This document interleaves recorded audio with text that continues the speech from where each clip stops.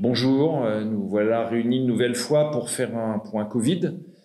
Malheureusement, ce point Covid est doublé euh, d'un point, sur les attentats, ces horribles attentats qui ont été perpétués contre euh, des professeurs, contre des croyants, contre des citoyens français.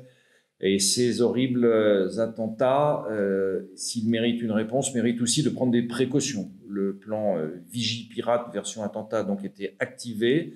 Et nous sommes en train de mettre en place toutes les mesures nécessaires à assurer la sécurité à l'ANI. Avant de revenir vers vous euh, sur ces mesures euh, concernant les attentats, euh, je souhaite faire un petit point Covid. À l'ANI, notre vie va être forcément un petit peu perturbée. mais la vie va continuer à l'ANI.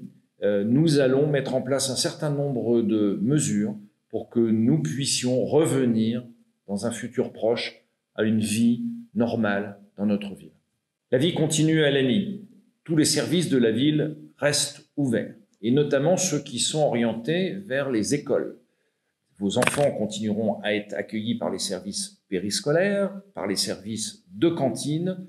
Toute l'équipe municipale et tous les employés municipaux sont mobilisés pour continuer à servir euh, nos concitoyens de l'ANI en ce qui concerne les commerces. Sauvons nos commerces, continuons à aller acheter dans nos commerces. Ce sont euh, tous les commerces de bouche sont ouverts. Nous avons réactivé le principe de sauvetonCommerce.fr. Allez-y, souscrivez, soutenez vos commerces. Euh, la situation Covid à l'ANI est conforme à la moyenne nationale, ni plus ni moins. C'est donc euh, bien les règles qui ont été dictées qu'il nous faut respecter. Euh, il nous faut porter un masque lorsque c'est exigé, il nous faut respecter la distance physique. C'est impératif d'éviter les regroupements de personnes, qu'elles soient publiques ou qu'elles soient privées. Surtout respecter bien les règles pour qu'on revienne le plus vite possible à une vie normale à l'année.